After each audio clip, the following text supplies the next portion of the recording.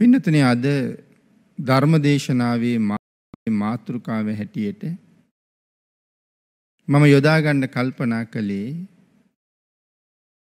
උතුම් වූ මජ්ක්‍ධිම නිකායේ ශුන්්‍යත කියන වර්ගයට අයිති අවසාන සූත්‍ර දේශනාව වන දේවදූත සූත්‍ර දේශනාව ඇසුරු කරගෙන ධර්ම දේශනාව සිද්ධ කරන්න.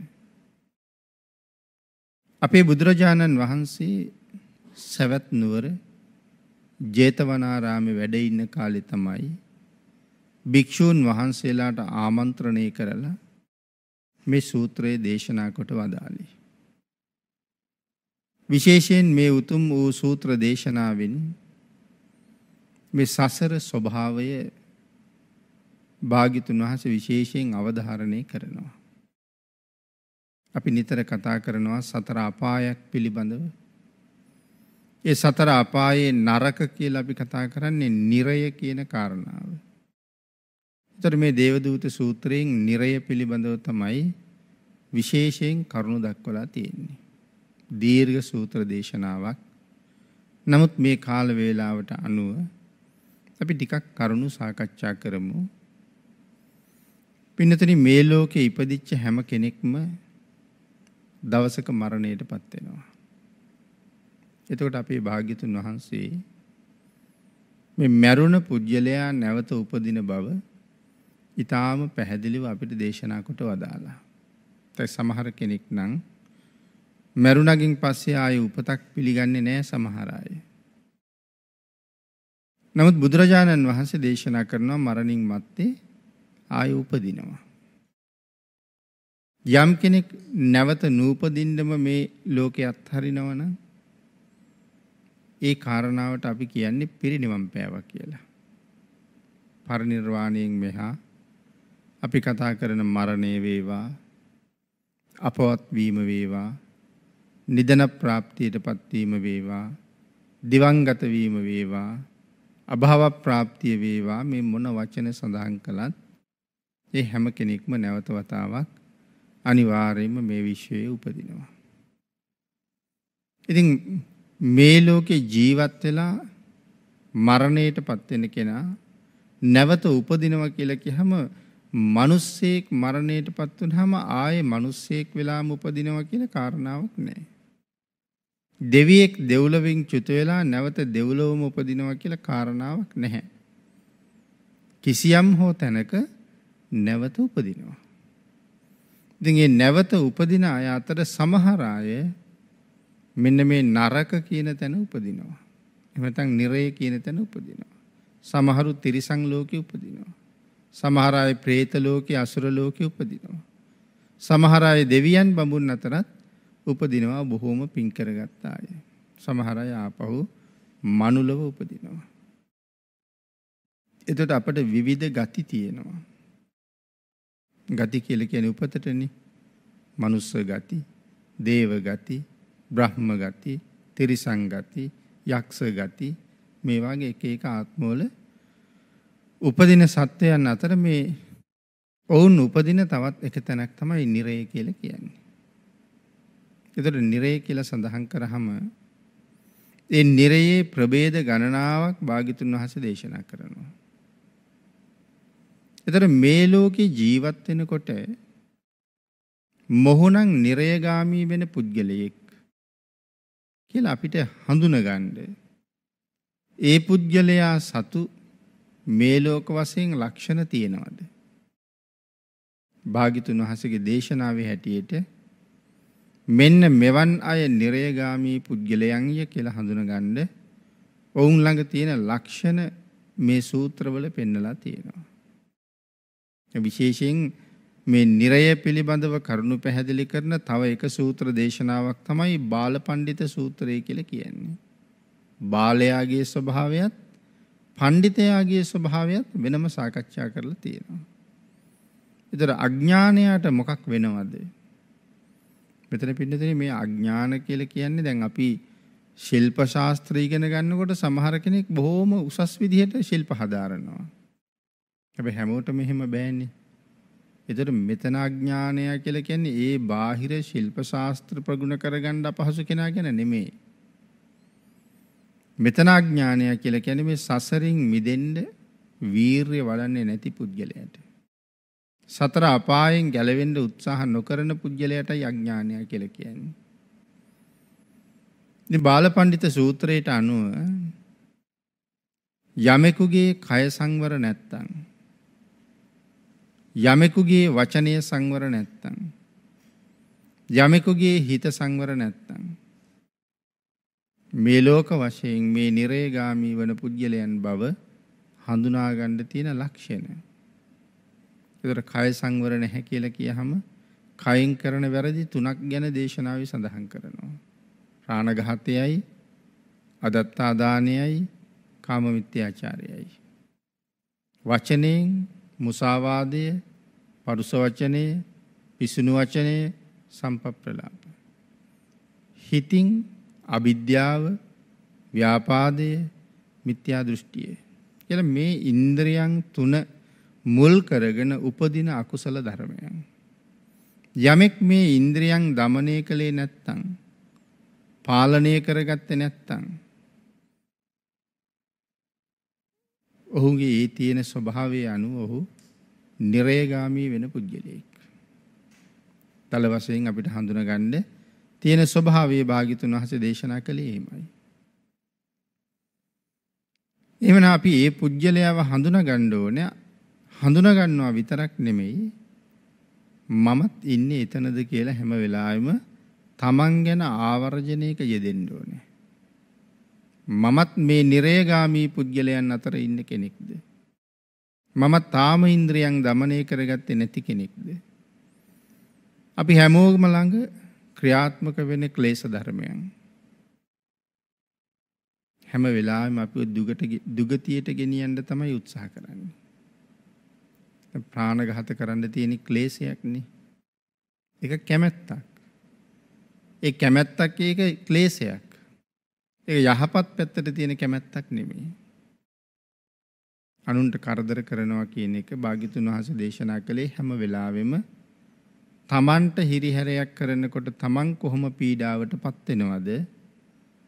තමන් ඒකෙන් යම් අපහසුතාවයකට පීඩාවට පත් වෙනවා නම් ඒ වගේම තමයි අනික් පුද්ගලයාත් ඒ තුලින් ඒකාන්තයෙන් පීඩාවකට පත් වෙනවා. අත්තානං උපමං කତ୍වා හැම වෙලාවෙම තමන් උපමා කරගෙන අනුන් නොනසන්න කියන එක තමයි භාග්‍යතුන් වහන්සේගේ දේශනාව.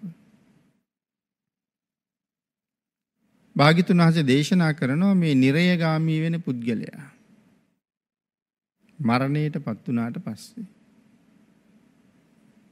මේ නිරය පාලකයෝ අපි කියනවා යමපල්ලු කියලා. එතකොට මේ නිරය පාලකයෝ කියන අය දැන් අපි නිරන්තරයෙන් ධර්මයෙන් අහලා තියෙනවනේ නිරය බොහෝම ගින්දරෙන් පිරුණ තැනක් කියලා. එතකොට මේ පව් කරලා ගියපු අයට විතරද ඒ ගින්දරෙන් හානි වෙන්නේ? මේ නිරය පාලකයන්ට කරදරයක් නැද්ද? ඒක පැහැදිලිව දේශනා කරනවා ඒ අයට කරදරයක් නැහැ කියලා. කර්මයෙන් උපන්න අය. නමුත් ඒගොල්ලන්ට කරදරයක් නැහැ. අන්‍ය පව් කරපු අයට තමයි කරදරයක් තියෙන්නේ. ඉතින් නිරය පාලකයන්ටත් අකුසල් සිද්ධ වෙනවා. ඉතින් මේ කරදර කරන අයට නැත්නම් නිරයේ ඉපදිච්ච අයට වද දෙන්නේ මේගොල්ලෝනේ. ඒතර එතකොට ඒගොල්ලන්ගේ සිත් තුළ ද්වේෂසිත පහළ වෙනවන්නේ. ඉතින් ඒ නිසා ඒ වගේ ඒ පිරිසටත් රැස්වන අකුසලයක් තියෙනවා. ඉතින් ඒ පිළිබඳව අට කතාවල් වල වෙනම විස්තර කාරණා දේශනා කරලා තියෙනවා. කෙසේ වෙතත් මේ ලෝකේ ජීවත් වෙලා මරණයට පත් වෙන කෙනා නිරය පාලකයන් විසින් අරගෙන යනවා යම රජු ළඟට. ඒ අරගෙන ගිහිල්ලා ඉදිරිපත් කරනවා ස්වාමීනි මනුස්ස ලෝකේ ජීවත් වෙච්ච කෙනෙක්. මරණයට පත් වෙලා මොහු මනුස්ස ලෝකේ ජීවත් වෙච්ච කාලේ මෙන්න මේ මේ විදිහේ ජීවිතයක් තමයි ගත කරලා තියෙන්නේ. මොහුට සුදුස්සක් තීරණය කරන්න කියලා. දිගේ වෙලාවේ යම රජුව මොහුගෙන් අහනවා මනුස්ස ලෝකේ ජීවත් වෙච්ච කාලේ දේවදූතයෝ දැක්කද කියලා. ඒ මහල පළවෙනි දේවදූතයා දැක්කද කියලා තමයි යහන්නේ. ඔහු සඳහන් කරනවා නැහැ කියලා. පිනතින ඔබෙන් ඇහුවත් මගෙන් ඇහුවත් ධර්මකාරණාව නොදන්නව නම් අදත් දෙන්න තියෙන පිළිතුර තමයි නැහැ කියන එක. ඒතර යමරජු මතක් කරලා දෙනවා කවුද පළවෙනි දේව දූතයා කියලා. මව් කුසෙන් බිහි වෙච්ච අම්මා ළඟ නැත්තම් තාත්තා ළඟ නැත්තම් කිසිම රැකවරණයක් නැති පාද දෙක උඩට මදක් ඔසව ගත්තේ අත් දෙක මිට මොලවා ගත්තේ දාපු තැන ඔහෝ උඩු ඔහේ උඩු බැලි අතට වැතිරිලා ඉන්න මලමූත්‍රා ගොඩේ වැතිරිලා ඉන්න බෙනින් කාගෙන්වත් සරණක් නැති මේ ලෝකෙ ඉපන්න අහිංසක බිලිඳු දරුවෙක් ගැන තමයි මේ කියන්නේ පළවෙනි දේවදූතයා කියලා. පින්නතුනේ එහෙම උපන්න දරුවෙක් ඔහේ පසෙක කොහේ හරි දාලා තිබුණොත් සමහරලාට කූඹි කඩි දිමියෝ වගේ සත්තු ලං වෙන්න පුළුවන්. නමුත් තමන් තනියම මේ සත්තු එලව ගන්නද පිහදා ගන්නද එහෙමුණුත් ඒ අනතුරට මුණ දෙන්නත් වෙනවා. සුනකාදී වෙනත් සතුන් ලං වුණොත් ඒත් පන්න ගන්න එලව ගන්න පුළුවන් කමක් නැහැ. ඔවුන්ගේ වද බන්ධන වලට ලක් වෙන්න සිද්ධ වෙනවා. කපුටන් උකුස්සන් ආදී පක්ෂීන් ළඟට આવුත් ඒත් කරගන්න දෙයක් නැතුව යනවා. ඉතින් ඒ පැත්තෙන් අසරණයි. බඩගිනි හැදුනහම බඩගිනී කියලා කියන්නද? පිපාසය දැනුනහම පිපාසයි කියලා කියන්නද? ශරීරයේ ලෙඩ රෝග ඉපදුනහම ලෙඩ රෝග ගැන මෙන්න මේ මේ ප්‍රදේශයේ රිදෙනවා මෙන්න මේ මේ විදිහේ අමාරුයි. Tamanට දැනෙන වේදනාව තව කෙනෙකුට කියන්නද? කරන්න තියෙන එකම දේ තමයි හඬන එක. ඉතින් ඒ හින්දා බොහොම අසරණයි මේ ලෝකේ. ඒතකොට අසරණ ජීවිත මොනතරම් වර්තමානයේ විනාශ වෙලා යනවද රැකවරණයක් නැති නිසා. අපිත් අද මෙහෙම ඉන්නේ අම්මා තාත්තා ආරක්ෂා කරපු නිසා මිසක් නැත්තම් බිහි කරලා කොහේ හරි දාලා තිබුණා නම් අපිටත් මොන වාගේ ඉරණමකට මූණ දෙන්න සිද්ධ වෙනවද කියලා දන්නේ නැහැ. ඒ අපි මිනිස්සුયો හැටියටනේ. සමහර වෙලාවට වනාන්තරවල සත්තු ඒ වගේම දරුවෝ බිහි කරනවා.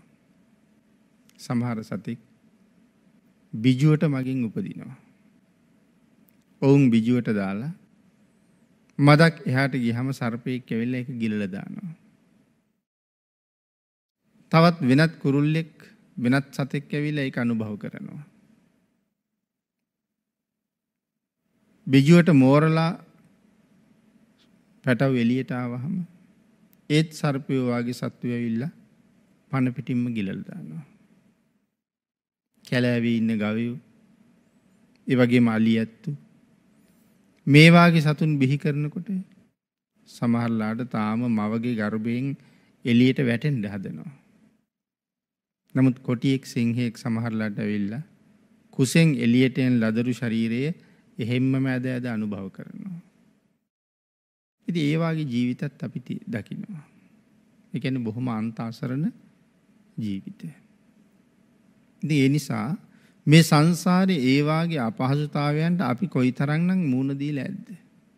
තමන්ගේ රැකවරණේ හදාගන්න බැරි අසරණ ජීවිතය. ඉතින් මෙන්න මේ වාගේ අසරණ බිලිඳු දරුවෙක් දැක්කහම මමත් සංසාරේ කොයිතරම් මේ විදිහට උපදින්නේ නැද්ද? මමත් සංසාරේ කී වාරයක් මෙහෙම අසරණ වෙලා ඉන්නේ නැද්ද? නැවත නැවතත් සසර මේ උපදිනවා කියලා කියන්නේ ආයෙත් ආයෙත් මේ தത്വයට මූණ දෙනවා කියන එකයි. එන වහ වහ මේ සසර නැවත නූපදින පුජ්‍යලයක් බවට පත් වෙන්නේ කටයුතු කළ යුතුයි කියලා තීරණය කරලා නුඹ අප්‍රමාදීව අප්‍රමාදීව කටයුතු කළේ නැහැ නේද? කියලා යම රජු ඔහුගෙන් අහනවා. මේ දේවදූතයා දැක්කේ නැද්ද කියලා ඇහුවාම දැන් කියනවා දැක්කා කියලා. දැක්කා කියලා තමයි අහන්නේ. කියහම තමයි අහන්නේ. ඇයි මේ තත්ත්වයෙන් මිදෙන්න නුඹ කටයුතු කළේ නැද්ද කියලා.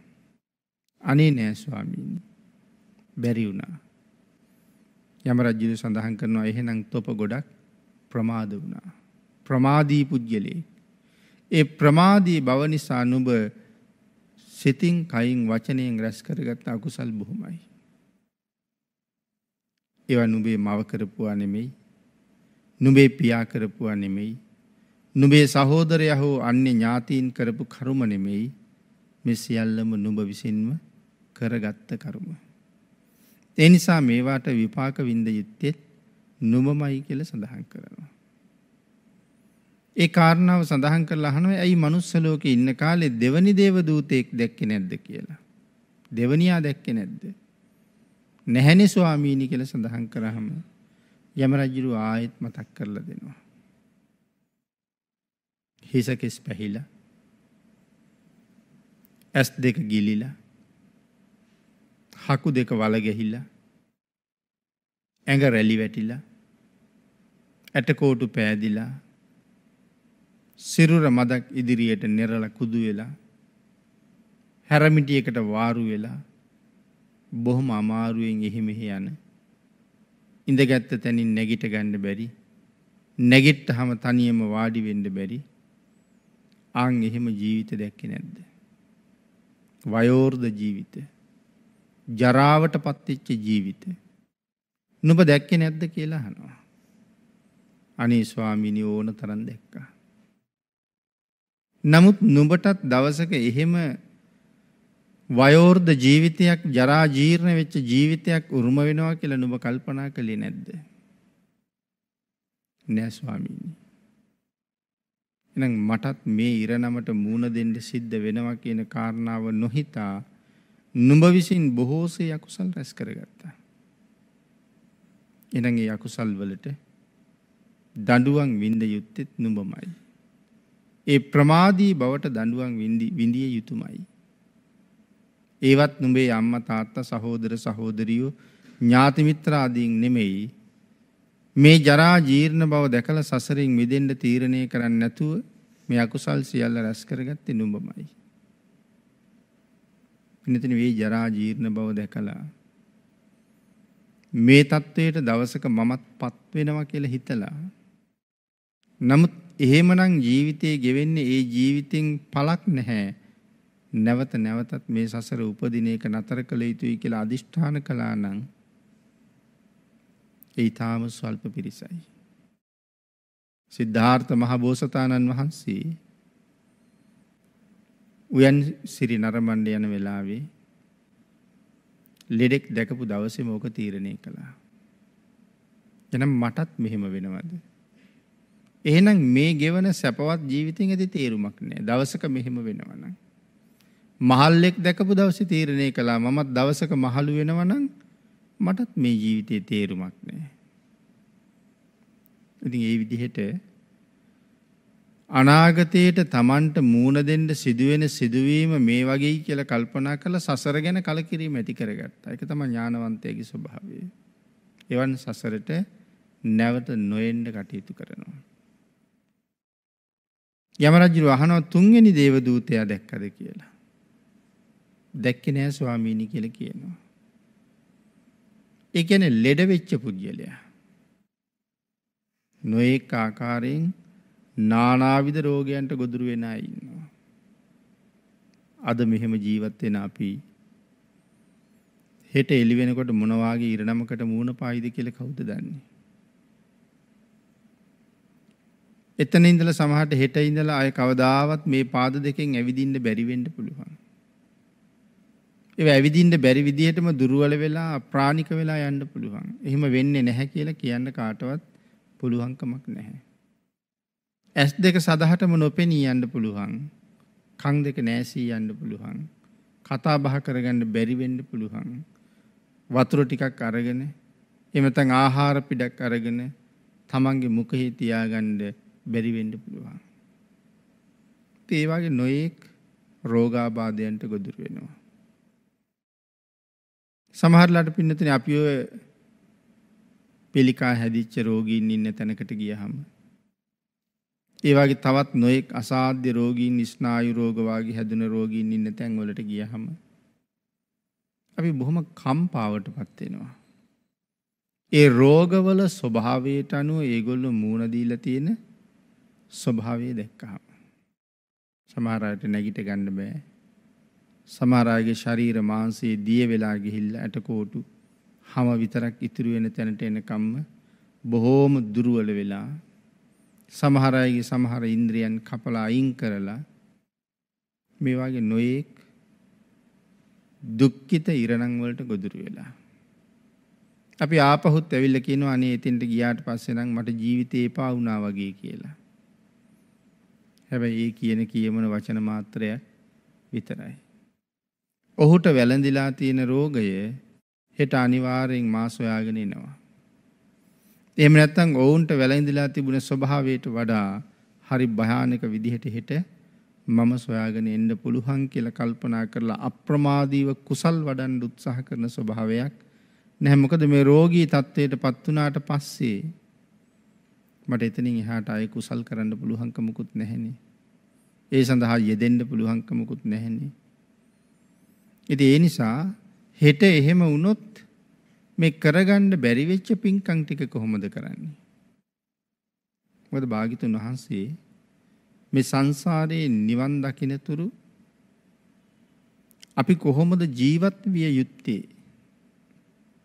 මේ සසර ගමන කොහොමද ඉදිරියට යා යුත්තේ? ඒ සඳහා මොන මොනවද කළ යුත්තේ? කියන කරුණු බොහොමයක් දේශනා කළානේ. දස දාන වස්තුවක් දේශනා කළේ මේක නිසා. එතර මේ සසර අහවල් දේ මට නැහැ. අහවල් දේ අඩුපාඩුයි කියලා දෙයක් නැති වෙන්න දස දාන වස්තුවක් දේශනා කළා. මේක සම්පූර්ණ කරගන්න. ඒ කියන්නේ මේ සංසාරේ දිගටම යන්න කියලාද භාග්‍යතුන් වහන්සේ මේ සඳහන් කරන්නේ? නෑ භාග්‍යතුන් වහන්සේ දේශනා කරන්නේ සසරින් මිදෙන්න. මොහොතක්වත් මේ සසරේ ඉන්න එපා කියලා දේශනා කරන්නේ. ඒකට භාග්‍යතුන් වහන්සේ කැමතිත් නෑ කියලා. ඉතින් අපි අපිත් කැමති නැති වුණාට සසර රැඳෙන්න ඒ උතුම් නිවන සාක්ෂාත් කරන තුරු මේ සංසාරේ අපි ආයේ උපදිනවනේ අකමැති වුණත්. නමුත් ඒ උපදින ජීවිතවල පින්නතනි වේල අනුභව කරන්න ආහාරය නැත්තම් අපි කොහොමද තව කෙනෙකුට ආහාර වේලක් දෙන්නේ? අපි කොහොමද දානයක් දීලා පිනක් කරගන්නේ? ඉතින් ඒ හින්දා නිවන් දකින්නතුරු මට උපදින ජීවිතයේ ධන සම්පත්තියෙන්න ඕනේ. එතකොට තමයි මට හිතේ හැටියට පින්දහම් කරමින් යුතුයකම් සම්පූර්ණ කරන්න පුළුවන් වෙන්නේ. ඉතින් දසදාන වස්තුවක් දේශනා කොට වදාළේ මේ දාන වස්තු 10 මනාව සම්පූර්ණ කරාම අපිට ආහාර විතරක් නෙමෙයි හම්බ වෙන්නේ. ආහාර හම්බ වෙනවා, ආවාස හම්බ වෙනවා, ආයුෂ වැඩි වෙනවා, වර්ණයේ සැපේ බලයේ ප්‍රඥාව දියුණු වෙනවා. තවත් එදිනෙදා අවශ්‍යතා හැම එකක්ම සම්පූර්ණ වෙන විදිහට ආවරණය කරලා තමයි මේ කරුණු දේශනා කරලා තියෙන්නේ. ඉතින් එහෙමනම් අපි එහෙම ලෙඩ වෙච්ච පුජ්‍යලයක් දැකලා හෙට දවසේ මට ඒක වෙන්න පුළුවන් කියලා හිතලා අප්‍රමාදීව කුසල් කරන්න යෙදෙන්න ඕනේ කියන කාරණාවයි මේ සඳහන් කරන්නේ. පිනතින අපිම හොඳාකාරවම දන්නවනේ. සමහරලාට ඊයේ අපිත් එක්ක හොඳට හිටපු අය රාත්‍රී අසනීප වෙලා සමහරට අතපය වකුටු වෙලා ආය මරණය දක්වා කවදාවත් ඒ අතපය දිගාරින්නේ නැති ජීවිත මුණ ගැහෙනවා.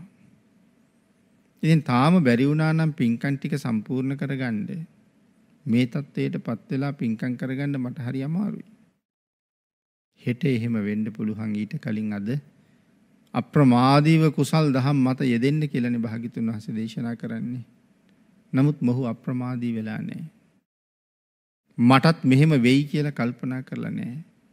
ඔහුට උනාට වඩා දරුණු විදිහට මට වෙනවා කියලා හිතලා නැති නිසා අපිට ඒක තවත් එක දර්ශනයක් විතරයි. ලෙඩෙක් දකින්නවා කියන එක. ඉතින් ඒක නිසා අප්‍රමාදී වුණේ නැහැ අපි තවත් අකුසල් රැස් කළා. ඒක හරියට නොතේරුනහම මරණ මංචකයේ එක්තෙන් වෙනකම් අකුසල් කරන එක නවතින්නේ නැහැ. මොකද මැරෙනවා කියලා හිතන්නෙත් නැහැනේ. ඒ නිසා ඒක දිගට අකුසල්ම කරනවා. ඉතින් අන්නේ ඒ කාරණාව තේරුම් නොගත්ත නිසා නුඹ ප්‍රමාදී බවින් යුක්තව බොහෝ අකුසල් කළා. ඒව නුඹම තමයි බිඳලා ඉවර කරන්න වෙන්නේ. ඊළඟට අහනවා හතරවෙනි දේව දූතයෙක් දැක්කද කියලා. නෑ ස්වාමීනි. රජු මතක් කරලා දෙනවා රාජ උදහසට ලක් වෙච්ච අය. රජුරු වද බන්ධන වලට ගොදුරු කරනකොට සාමාන්‍ය අපි අහලා තිනවා දෙතිස් වද කියලා. හරි අමානුෂික විදිහට භයානක වද තිස් දෙකක් රජ්ජුරුව සමහර අපරාධකාරයන්ට නියම කරලා තියෙනවා. ඉතින් හැමෝම වද තිස් දෙකම ඉවසන්න බැහැ සමහර අය මගදීම මැරිලා යනවා. ඉතින් ඒ වගේ රජුරු බැරදිකාරයන්ට දඬුවම් කරපු අති භයානක දඬුවම් ක්‍රම කීපයක් සිහිපත් කළොත් රජුරු සමහර වෙලාවක අපරාධකාරයෙක් ගෙනල්ලා දුන්නහම ඒ අපරාධකාරයාගේ හිස උඩට බොරළු දාලා බොරළු වලින් මදිනවා සමහර තද කහට පැල්ලම් තියෙන නොයෙක් යකඩ වාගේ දේවල් මදින්න ගියාම අපි වැලි දාලත් මදිනවා. අන්න ඒ වගේ හිසට බොරළු දාලා බොරළු වලින් හිස අතුල්ලනවා. ඒතර ඉස්සරලම වෙන්නේ කෙස් ගස් ටික ගැලවෙනවා. ඊට පස්සේ තියෙනවා හැම මතු පිට සිවිය සහ හැම මේ හැම සිවිය දෙකම ඉරිලා ගැලවෙනවා. ඊට පස්සේ තියෙන්නේ ඔලු කටුව උඩ තියෙන යන්තම් තියෙන මස් ප්‍රමාණයක්. මේ බොරළුවලට ඒකත් කැපිලා ගැලවිලා ගිහිලා දැන් තනි කරම ඔලු කටුව විතරක් පෑදිලා තියෙනවා. ඒ ඔලු කටුව හරියට හක් ගෙඩියක් වාගේ පාට වෙනකන් බොරළු වලින් මදිනවා. අපි හක් ගෙඩි දැකලා තියෙනවනේ. හක් ගෙඩියක් සුදු පාටයි. දැන් මේකට සංක මුණ්ඩි කියලා කියනවා. ඒක දඬුවම් ක්‍රමයක්. හක් ගෙඩියක් වාගේ වෙනකන් ඔලු කට්ටත් බොරළු වලින් මදිනවා. ඉතින් මේක දිහා බලාගෙන ඉන්න මේක දැකලා අනේ රජ්ජුරුවන්ට අහවල් දවසේ අහු වුණොත් නැත්තම් මමත් රාජ උදහසට ලක් වුණොත් මටත් මේ දඬුවමට මුහුණ දෙන්න සිද්ධ වෙනවා. ඉඳ කවදාවත් මං වැරදිකාරයෙක් නම් වෙන්නේ නැහැ කියලා අප්‍රමාදීව කුසල් වඩන්න උත්සාහ කරන්න ඕනේ. රජ්ජුරු දුන්න තව දඬුවමක්. මුඛය හොඳට විවෘත කරවලා මේ අනු විවෘත වෙලා තියෙන අපේ අණුව පාත් කරගන්න බැරි වෙන්න කිසියම් ආධාරකයක් තියෙනවා. දැන් අපි හිතන්නකෝ අපි කරුංග ගෙඩියක් වගේ දෙයක් කටට දාලා හපනවා කියලා. එතකොට අපිට සම්පූර්ණ නිකන් ඉන්න වෙලාවට වගේ අණු දෙක පිය වෙන්නේ නැහැනේ. අර ගෙඩිය තියෙනකන්. ඉතින් ඒ වගේ ඊට වඩා ටිකක් උස ආධාරකයක් තියහම ඇතුලෙන් ආයේ කටපාත් කරන්න බැරුව වෙනවා. හොඳට මුඛය විවෘත කරවලා ඇතුලෙන් ආධාරක තියලා පහනක් පත්තු කරලා ඇතුලින් තියෙනවා. ඔකට කියන්නේ රාහු මුඛ කියලා. අපි දන්නවා පහන් දැල්ලකට පිලිස්සෙන හැටි. දැල්ල නිකුත් වෙන තැනින්ම ඇඟිල්ල තිබුණොත් ඒත් පිලිස්සෙනවා තමයි. මැදින් ඇඟිල්ල තිබ්බොත් ඒත් පිලිස්සෙනවා. හැබැයි අර නිල් පාටට ඉහළට නැගිලා යන දැල්ලට ඇඟිල්ල අල්ලහම බොහොම වේදනාව සහිතව පිලිස්සෙනවා. ඉතින් එතකොට මුඛය ඇතුලේ පහන දැල්වලා තියහම මේ උඩ අණුවේ උඩ ප්‍රදේශයේ මේ පහනේ අග කෙරවලට නිපිච්චෙන්නේ. නමුත් මැරෙනවද? දීර්ඝ කාලයක් දුක විඳින්න වෙනවා. එහෙම දඬුවම් දීලා තියෙනවා රජුරු. ඒතර සමහර වෙලාවට මේ එක අතක් සම්පූර්ණ කපු වගේ රෙදි වලින් මනාව ඔතලා ඔතලා ඔතලා ඔතලා පුවක් ගහක් තරමට වගේ මහත් වෙනකන් අත ඔතලා හොඳට තෙල් වල පොඟවලා මේ කෙරවලින් පත්තු කරනවා. පහනක් දැල් වෙනවා වගේ පත්තු කරනවා. හමත් දෙවිලා මසත් දෙවිලා ඇටකෝටුත් දෙවිලා සමහරට අර සුවඳ කූරක අලු වැටෙනවා වගේ මේ සියල්ල දෙවිලා අලු තමයි වැටෙන්නේ. නැත්නම් ඇටකෝටුව ඉතුරු වෙන්න මාංශය ආදී සියල්ල පිලිස්සෙනවා. පින්නතින උරපත්ත ගාවට එනකම්ම අත පිලිස්සිලා ගියත් පුද්ගලයෙක් මැරෙන්නේ නෑන්නේ. නමුත් මේ වේදනාව ඉවසන්නේ කොහොමද? මැරෙන එක ඊට වඩා හොඳයි කියලා කී වාරයක හිතෙනව ඇද්ද? තව දඬුවමක් රජුරෝ දීලා තියෙනවා මේ ඔලු කට්ට ගලවනවා. වර්තමානෙත් සත්කම් ආදිය කරන්න අයින් කරනවා. ඉතින් එහෙම ඔලු කට්ට බුරුල් කරලා ගලවලා ඇතුළට ලුණු දානවා. ලුණු දාලා වහනවා. ශරීරයේ පුරාම තෙල් ඔතලා මුළු ශරීරයටම ගිනි තියෙනවා. දකුණු කනින් යකඩ උලක් තියලා ඒ උල ගහනවා වම් කනින් මතුවෙලා මහ පොළොවේ ඇනෙනකන්. ඊට පස්සේ පාද දෙකෙන් අල්ලගෙන වටේට කැරකෙනවා. ඉතින් මේ රජ්ජුරුව දුන්න දරුණු දඬුවම් වලින් කීපයක්. ඒ කාලේ තිබිච්ච දරුණු දඬුවම් ක්‍රම කීපයක්. මේ විදිහේ දඬුවම් විඳින මිනිස්සු දැක්කහම දැක්කේ නැද්ද එහෙම මිනිස්සු කියලා අපුවම ස්වාමීනි ඕන තරම් දැක්කා. ඒතර නුඹත් රජුට අහු වෙලා මෙහෙම දුක් විඳී කියලා නුඹට හිතුනේ නැද්ද? එහෙම හිතලා අපරාධ කරන එක අත්හැරලා වැඩි වැඩියෙන් කුසල් දහම් රැස් කරන්න නුඹට හිතුනේ නැද්ද? අනේ නෑ ස්වාමීනි. අන්න එහෙම හිතලා අකුසලයෙන් ඈත් නොවුන නුඹම තමයි ප්‍රමාදීව මේ රැස් කරගත යුතු සියලු කරුම කරලා තියෙන්නේ. එහෙනම් ඒ කරුම විඳ යුත්තේ නුඹමයි. ඊළඟට අවසානට අහන්නේ පස්වෙනි දේවදූතයා. ඒ තමයි මරණයට පත්වෙච්ච කෙනා. මැරිලා දවසක් ගිහිල්ලා දෙකක් ගිහිල්ලා තුනක් ගිහිල්ලා ඉදිමිලා නිල් වෙලා උතුරලා පුපුරලා යන මේ මල කඳන් දැක්කේ නැද්ද කියලා අහනවා. ස්වාමීනි දැක්කව ඕන තරම්. ඒ මලමිනිය අපිට කියනවා පණිවිඩයක්. සහෝදරවරුනි මමත් නුඹලත් එක්ක මේ ලෝකයේ නුඹල කරන දේවල් කර කර මමත් ජීවත් වුණා. නුඹල වගේම මාත් කටයුතු කළා. නමුත් නුඹල තාමත් මේ ලෝකේ ජීවත් වෙනකොට මම මේ ලෝකේ අත්හැරලා යන්න ගිහිල්ලා. හැබැයි මට වෙච්ච දේ ඒකාන්තයෙන් නුඹලටත් දවසක වෙනවා. මේ ඉරණමට නුඹලත් දවසක මුහුණ දෙනවා. මෙතනදි ගෙනියන්න තියෙන්නේ නුඹලත් මමත් කරගත්ත පිං සහ පව් කියන මේ කර්මය විතරයි. එනිසා වැඩි වැඩියෙන් අරගෙන යන්න පින් රැස් කරගන්න උත්සුක වෙන්න අප්‍රමාදී වෙන්න කියන පණිවිඩයක් අපිට කියනවා නිහඬව. නමුත් මලගෙදර ගිහිල්ලා මැරුණ කෙනාව බලලා අනේ මටත් දවසක මේ මරණය මේ විදිහටම උරුමයි. අපි සමහර කෙනෙක් මැරුණාම කියනවා නිකන් හීනයක් වගේ කියලා. ඊයේත් මගෙත් එක කෑම කකා ඉඳලා ඇවිල්ලා හෙට උදේ බලනකොට මැරිලා. මරණය ඕනම වෙලාවක එන්න පුළුවන්.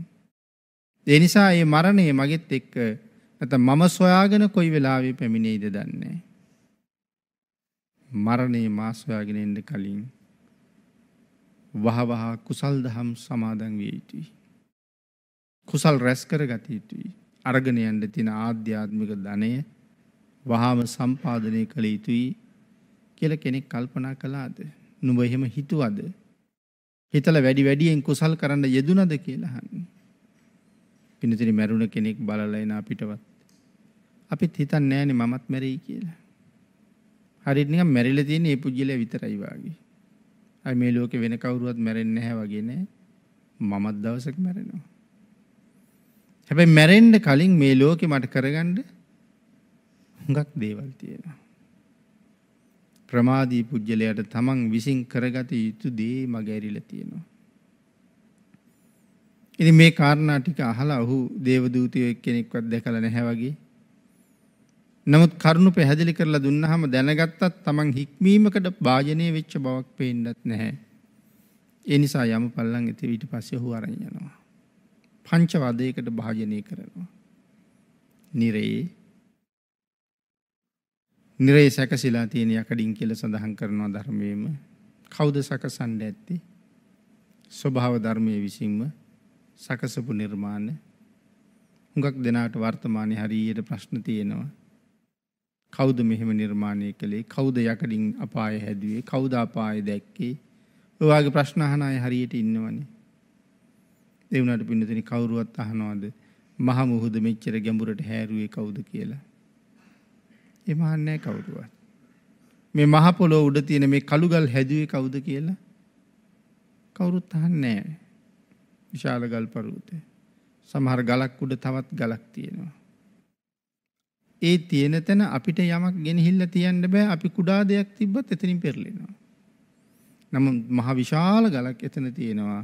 ඒක අවුරුදු 10 ගාණක් එතන තියෙනවා. කිසිම හේතුවකට ඒක වැටිලා වැටිලා නැහැ. පල්ලෙහා අපි ඕන තරම් ගෙවල් දොරවල් හදාගෙන ඉන්නවා.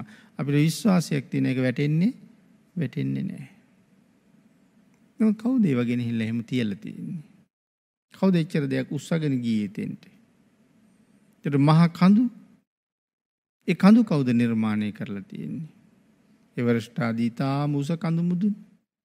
අපේ රටේ තියෙන සමනල ගල පිදුරු තලාගල ආදී මේ මහ විශාල කඳු පන්ති කවුද ඒවා මේ මහ පොළොව උඩ එහෙම නිර්මාණය කරලා තියෙන්නේ? අපි විසින් කරපුවා නම් නෙමෙයි ඒවා ස්වභාව ධර්මයේ විසින්ම නිර්මාණය වෙලා තියෙන දේවල්. අප ඔබ මම ආග්‍රහණය කරන මේ හුළඟ කිසියම් තැනක පිහිටවපු විශාල යන්ත්‍රයකින් මේ ලෝකෙට හුලං හමනවද? නමුත් මේ හුළඟ හමන්න නැතුව ගියොත් මොනව වෙන්නේද? අපි මොනව කරගන්නේද? ඉරහඳ පායන් නැතුව ගියොත් අපිට මොනව වෙන්නේද? නමුත් මේ තියෙන කවුරුවත් හදාපුවාද? ඉතින් ඒවා ප්‍රශ්න නොකරන මිනිස්සු මේ නිරය ගැන හරියට ප්‍රශ්න කරනවා. මේ ලෝකේ වැරදි කරන අයට දඬුවම් කරන්න ස්වභාව ධර්මයේම නිර්මාණය කරපු තැන. සම්පූර්ණ ලෝහමය ලෝහමය කුටි වගේ හැදිලා තියෙන්නේ. එඳ යකඩ පොළව අඹ දැල්ල වගේ රතු පාට වෙලා යම පල්ලෝහු පංච වදයකට භාජනය කරනවා. පාදයක් උඩ පාදයක් තියලා පාද දෙක එකට එකතු වෙන තැන විශාල යවුලක්. ඒක තල් කඳක් වගේ ලොකු යවුලක් තමයි ගිනිගත්ත යවුලක් මේ පාද දෙකම අහුවෙන්න අර බිම යකඩ පොළොව පසාරු කරගෙන යන්න යවුලක් ගහනවා. අත් දෙකත් ඒ විදිහටම කරලා ඒ තනත් යවුලක් යවුලක් ගහනවා පපුව මැද්දෙත් යකඩ උලක් ගහනවා. ඒතර පාද දෙකයි අත් දෙකයි ශරීරයේ මැදයි පස් පොලක් මේ යකඩයත් එක්ක සම්බන්ධ කරවලයි තියෙන එකට කියන පංචවදේ කියලා. අවුරුදු කෝටි ගාණක් පිච්චෙනවා. මේ වෙලාවේ යමපල්ලු වෑයත් අරගෙන පොරොවත් අරගෙන එනවා. එක පොරෝ තලයක් සොල් දොරගේක එක ඵලයක් වගේ ලොකුයි කියලා කියන්නේ. අපිට මතක් වෙන්නෙම දරපල්ල පොරෝනේ. ගෙදරක වහලක එක ඵලයක් වගේ ලොකුයි කියනවා එක පොරෝ තලයක්. එතන නිරිසත්තු කොච්චර ලොකුද? සඳහන් කරනවා ගව් තුනක් විතර උසයි කියලා. නිරිසති. ඉතින් අර ගස් පලනවා වගේ හතරැස් කරලා පලනවා හය පට්ටම් කරලා පලනවා අට පට්ටම් කරලා පලනවා වෑයෙන් රහිනවා. ඉතින් මේ පොරෝ පාරක් වදින වදින තැනක් ගානි ශරීරයේ ඇතුළට ගිනි දැල් කාවැදිලා අභ්‍යන්තරයේ පුලුස්සනවා. මැරෙන්නේ කවදාවත්. ඉතින් මෙහෙම නිරයෙන් නිරේට නිරයෙන් නිරේට යනවා. මහා නිරය ගැන සඳහන් කරලා තියෙනවා අවිචිය ගැන. අවිචිය ඕන තරම් නිරිසත්තු. හරි නිකන් අබ මිටක් උඩ ඉඳලා බිම දැම්මොත් ඒ අබ මිට බිම වැටෙන්න බොහෝ කල් යනවා. ඒ තරම්ම නිරිසත්තුන්ගෙන් පිරීලා. වසර 1000ක් නැත්නම් කාලයක් ගත වෙනකොට මේ අවිචි මහනිරේක පැත්තක දොර ඇරෙනවා. ඉතින් ඉක්මනට දුවනවා ඒ පැත්තට දොරෙන් එළියට පයින්න. සඳහන් කරනවා දොර ගාවට දුවන්න ගත වෙන කාලය වසර 1000ක් විතර කියලා. ඒත් ළඟට යනකොට දොර වැහෙනවා. වෙන පැත්තකින් ඇරෙනවා එතෙන්ට දුවනවා දුවන්න දුවන්න පිලිස්සෙනවා වැඩි. සමහර අය මුළු ආයු කාලයේම මහනිරේ ඉන්නවා නම් අන්තර්කල්ප එකක් නිරේ ඉන්න ඕනේ කියලා සඳහන් කරනවා. ඒ කියන්නේ මනුස්ස වර්ෂයෙන් මනුස්ස වර්ෂය අසංඛ්‍ය 86 ලක්ෂ 40000ක්. අවීචී කාලේ. ඉතින් මෙහෙම විඳලා විඳලා විඳලා තමන් කරපු කර්මයයි මේ ගෙවන්නේ. නිරය මහනිරයන් වටේට ඔසුපත් නිරයන් තියෙනවා. සමහර කෙනෙක් දොර ඇරලා තියෙනකොට එකපාරම ගිහිල්ලා පනිනවා. ඔව් ඒ කාලේ නිමා කරලා අවීචී ඉන්න කාලේ. හැබැයි වැටෙන්නේ ගූත කියන නිරේට. සම්පූර්ණ මල සහ මුත්‍රා පැහෙනවා හමන දුර්ගන්ධය මනුලොවට අවුත් සියලු සත්වයන්ගේ හිස පුපුරනවා කියලා තමයි කියලා තියෙන්නේ. ඉතින් මේ නිරයේ ඔරු කඳන් වාගේ ඇඟ තියෙන මදුරුවෙකුගේ තුඩක් වගේ කුඩා තුඩක් තියෙන විශාල පණුවෝ මේ සත්වයා වට කරගෙන ඇටකෝටුව දක්වාම විදලා ඇට ඇතුලේ තියෙන ඇට මිදුළු තමයි ඔවුන් අනුභව කරන්නේ. මදුරුවෙක් හමට විදිනකොට දරා ගන්න බැරි අපි ඇට මිදුළු දක්වාම විදිනකොට කොහොම ඉවසලා ඉඳීද? ඉතින් මේ වගේ කාරණා පැහැදිලි කරනවා පිළිත ඊට පස්සේ තියෙනවා කුක්කුල නිරය ඊට පස්සේ තියෙනවා අසිපත්‍ර වනය ඊළඟට තියෙනවා කටු ඉඹුල් වනය මේ වගේ නොයේක් දේවල් පැහැදිලි කරලා තියෙනවා මේ සූත්‍රයේ. ඉතින් කාලාන්තරයක් තිස්සේ මේ නිමක් නැති දුක්ඛන්දරාවල් ඉවසන්න සිද්ධ වෙනවා සමහරු ඒ කර්ම ගෙවලා නැවත ආයේ එතනම උපදිනවා පෙර කරපු කර්මයක් නිසා. ඉවරයක් නෑ දුක. ඔබත් මමත් පෙර ඕන තරම් කර්ම කළා. කාල වේලාව අවසාන වෙමින් තියෙන නිසා මම අවසාන වශයෙන් සිහිපත් කළේ මෙන්න මේ නිර්සත්තු විඳින දුක දැකලා. ඒ භයානක නිරේ තියෙන භයානක බව දැකලා. නිරේ ප්‍රධාන පාලකයා හෙවත් යම රජුරවන්ට හිතෙනවලු. යම් දවසක මෙතනින් මිදිලා මනුස්ස ලෝකේ ඉපදෙන්න ලැබුණොත් සම්මා දිට්ඨික මනුස්ස ජීවිතයක් එක්ක ආයනං කවර කවමදාකවත් මෙවන් නිරේකට ඒමක් ගැන නම් හිතන්නේ නැහැ කියලා. ඒ කියන්නේ යම රජුරුවොත් බලාගෙන ඉන්නේ බුද්ධාන්තරයක සම්මාදිට්ඨික මනුස්ස ජීවිතයක් අරගෙන මෙහෙ එන්නේ මනුලොවට එන්න මොකටද? වැඩි වැඩියෙන් වැඩි වැඩියෙන් පින් කරගන්න ඕන නිසා. යම රජුරෝ තාම එහෙම සිහින දකිනවා. නමුත් අපේ හීනේ සැබෑ වෙලා තියෙනවා. සම්මාදිට්ඨික මනුස්ස ජීවිත ලැබිලා තියෙනවා. බුද්ධාන්තරයක අපි ඉපදිලා තියෙනවා. භාග්‍යතුන් වහන්සේගේ අනුග්‍රහය නොඅඩුවම අපිට ලැබිලා තියෙනවා. මම එකෙන් පල නෙලනවද කියන කාරණාව විතරක් හැමෝම තමන්ගෙන් ප්‍රශ්නයක් හැටියට අහගෙන ලැබෙන උත්තරයට අනුව කටයුතු කරනවා නම් හරි වටිනවා. පින්නතුනි වර්තමානයේ 198කටත් වඩා වැඩි ප්‍රමාණයක් ලැබිච්ච අවස්ථාවෙන් ප්‍රයෝජන ගන්නේ නැහැ. යටත් පිරිසෙන් ලෞතුරා බුදුරජාණන් වහන්සේ වෙනුවෙන් උදේ හවස වන්දනා කරන තරම්වත් කීකරු බවක් ඔවුන් තුල නැහැ. නමුත් වන්දනාමය කුසලයේ මෙන්න මෙච්චරක් කියලා ප්‍රමාණයක් කරලා දක්වන්න බැරි අසීමාන්තික ආනිසංස තියෙන පිනක්. අවුරුදු 100ක් සක්වල පුරාම ලෝකීය මහජනයට දන් දුන්නහම මොනතරම් පින් ලැබෙනවද? මහණෙනි මගේ ශාසනයක සෝවාන් වහන්සේ නමකට වන්දනා කරන පුද්ගලයෙක් ඒ වැඳුමෙන් ලබන කුසලය හතරට බෙදලා එයින් එක කොටසක් තරම්වත් වසර 100ක් සක්වල පුරාම දුන්න දානේ වටින්නේ නැහැ කියලායි දේශනා කළේ. සෝවාන් වහන්සේට වැන්දාම එහෙමනම් ලෞතුරා භාග්‍යතුන් වහන්සේට වැන්දාම කොහොම වෙයිද? ਸਰවඥ ධාතුන් වහන්සේ මෙච්චර වැඩ ඉන්නවා. වෙහෙර විහාර ප්‍රතිපිලිම මේ තරම් තියෙනවා. බුදුන් වඳින්නවත් භාග්‍යයක් නැති පිරිසක් හැටියට අපිට හම්බෙච්ච සම්මාදිට්ඨික ජීවිතේට මම මොනවද කළේ කියන කාරණාව හැම වෙලාවෙම හිතන්න ඕනේ. හිතලා වහ වහ ක්‍රියාත්මක වෙන්න දේව දූතයෝ එක එක කාලෙට අපිට පෙනෙන්න පුළුවන්.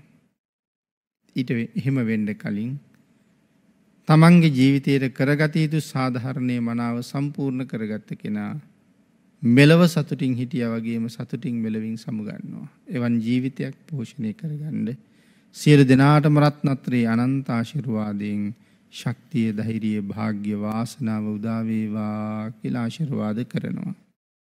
පින්නතනි අද උතුම් ධර්ම දේශනාවේ දායකත්වයේ දරනු ලබන්නේ බත්තර මුල්ලේ පදිංචි සදැහැති දායක පින්වත් පිරිසක් විසින් උතුම් අරමුණ හැටියට විශේෂයෙන් සිහිපත් කරනවා